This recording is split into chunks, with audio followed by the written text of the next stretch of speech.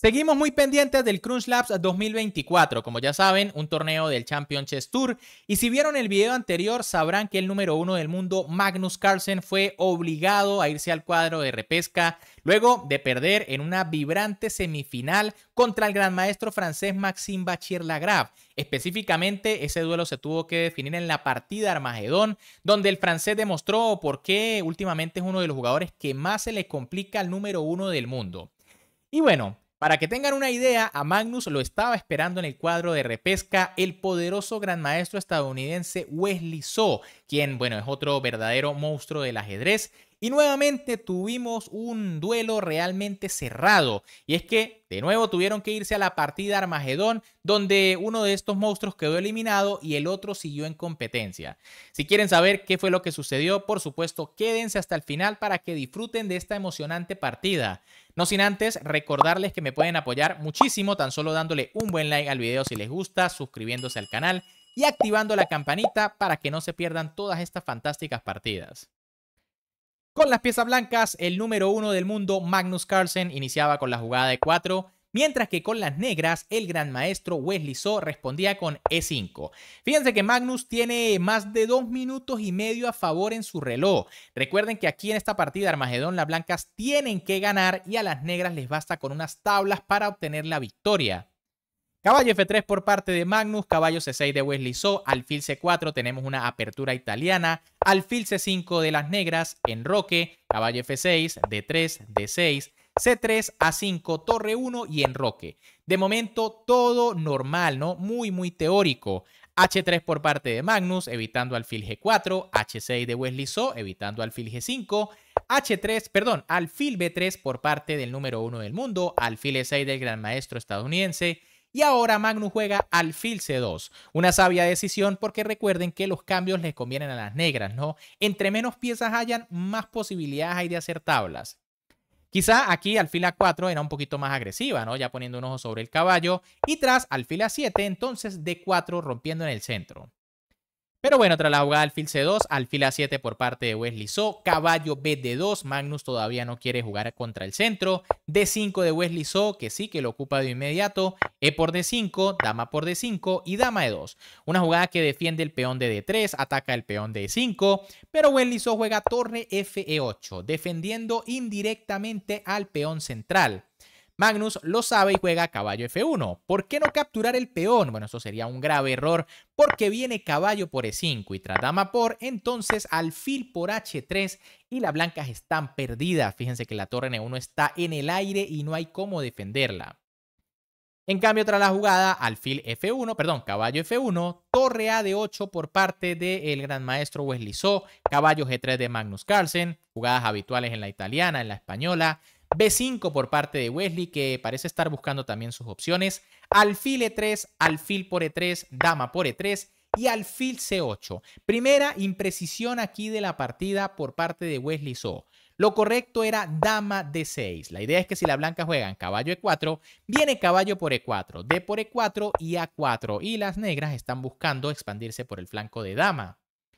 En cambio, tras la jugada alfil C8, Magnus jugó caballo E4 y amenaza capturar el caballo en F6. Wesley capturó D por E4 ganando un tiempo tocando la dama y tras dama de 6 torre A de 1. Fíjense que no es lo mismo, ¿no? No le dio tiempo a las negras de jugar A4. Dama de 7 por parte de Wesley So, torre de 5 de Magnus Carlsen que toma la iniciativa, el noruego amenaza el peón de B5 y también pone un ojo sobre el peón de 5. B4 por parte de Wesley intentando defender, pero ahora alfil A4. Ahora sí la ventaja de la blanca es clara. El caballo está amenazado, además está clavado y es esta pieza la que defiende al peón de A5. Alfil B7 por parte de Wesley So, alfil por C6 de Magnus Carlsen, alfil por C6 y torre por A5. Ahora las blancas tienen ventaja material. Esto es un peón de más. Dama de 6 por parte del gran maestro estadounidense, Dama C5 del noruego, que ahora quiere simplificar para imponer su ventaja material, B por C3 por parte de So, Dama por C3 de Magnus Carlsen, y ahora F6, la jugada que parece más lógica defendiendo el peón de E5. Sin embargo, es un error porque aquí las negras incluso pueden perder pieza. Lo correcto era jugar torre E6 y en caso de torre C5, entonces ahora sí F6. De momento el alfil está defendido. El problema de F6 directamente es que, bueno, Magnus tenía una jugada ganadora, pero de momento no la vio. Jugó torre C5. Es fuerte, pero no es la mejor. Aquí las blancas tienen ventaja decisiva con torre A6, atacando al alfil que está clavado. Fíjense que de nada sirve defenderlo porque viene torre C1 y el alfil se cayó. Las blancas ganan de inmediato. Tras torre C5 todavía las negras tienen algunas posibilidades de defenderse. Torre S6 defendiendo, B4 por parte de Magnus Carlsen y ahora torre B8. De nuevo un error aquí por parte de Wesley So. Lo correcto para aguantar un poco más era alfil E8, aunque es una jugada difícil ya que tras torre por C7 serían dos peones de menos, ¿no? Pero viene alfil C6, ¿no? Se busca tratar de arrinconar a la torre, buscar presión sobre 4, aunque igual las negras deben estar perdidas. Ahora, tras la jugada torre B8, caballo H4 por parte de Magnus. Buena jugada tratando de ocupar la casilla F5. Y bueno, Wesley juega rey H7. Error. Aquí lo mejor era rey H8 para, como verán más adelante, evitar los temas en la séptima fila. Por ejemplo, tras caballo F5 viene dama D7, torre C1 y G6. Se puede amenazar el caballo y bueno, quizá no hay tanto peligro. En cambio, tras rey h7, Magnus jugó caballo f5, dama d7 y ahora a4. En este momento, bueno, torre c1 también funcionaba y fíjense que ya g6 no funciona porque puede venir caballo e3. Cuando el alfil se retire viene torre por peón y la dama queda clavada. Esta es la diferencia de que el rey estuviese en h8, la dama no quedaría clavada. Ahora, A4 es suficiente para mantener una buena ventaja. Igual el alfil no puede capturar porque viene torre por peón, torre por G7 y esto se acaba. Torre C8 por parte de Wesley So, B5 de Magnus Carlsen atacando el alfil de su rival, alfil A8, A5, torre EE8, F3, C6 y B6. Bueno, Magnus decide quedarse con los dos peones totalmente libres. Aquí incluso torre C1 era un poquito más fuerte porque no se puede defender el peón de C6 pero B6 es más que suficiente, ¿no? Los peones son demasiado fuertes. Alfil B7 por parte de Wesley So, dama B3 de Magnus Carlsen, torre ED8, torre CC1, C5, torre ED1 y C4. Pero Magnus aquí, perdón, Wesley So busca sus últimas oportunidades, ¿no? Quiere que alguna de las dos piezas se desvíe para jugar dama por D1. Pero sencillamente Carlsen juega torre por D7 y tras C por B3, torre por G7. Las negras están totalmente perdidas. Wesley decide jugar rey H8, torre B1 por parte de Magnus, que va por el otro peón, alfil A6 del maestro estadounidense, torre por B3 del noruego, torre C2 tratando de buscar algo por la séptima fila, torre C7 de Magnus que ofrece cambio, Wesley solo rechaza con torre A2, B7, las blancas amenazan coronar.